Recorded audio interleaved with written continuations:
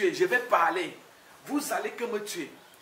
Nous allons vous mettre les derniers, derniers temps forts de Martinez Zogo. Oui.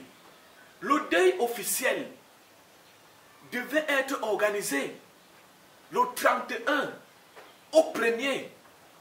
Mais la famille de Martinez Zogo est dans les disputes.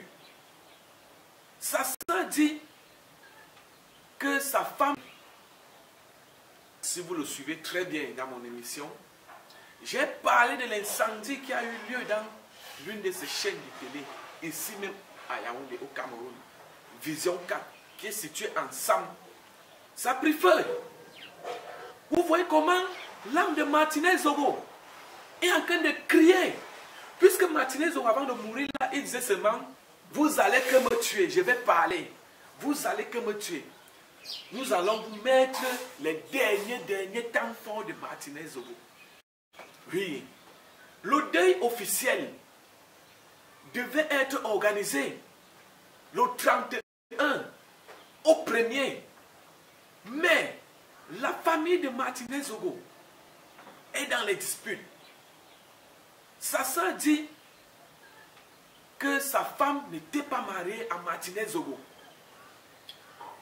Il y a les discussions.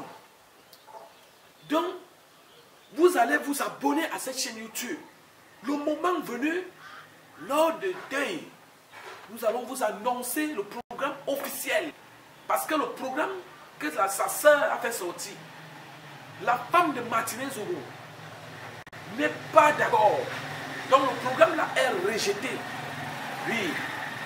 Donc le moment venu, et le deuil va se dérouler des obsèques à l'hôpital central de Yaoundé à 15 heures.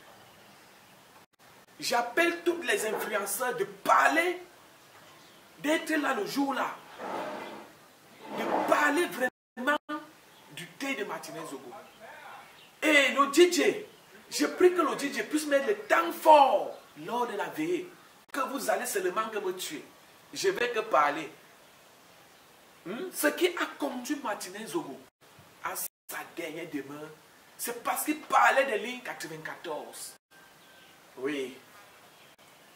Jean-Pierre Mougoubelinga a demandé sa libération, mais elle était rejetée. Si vous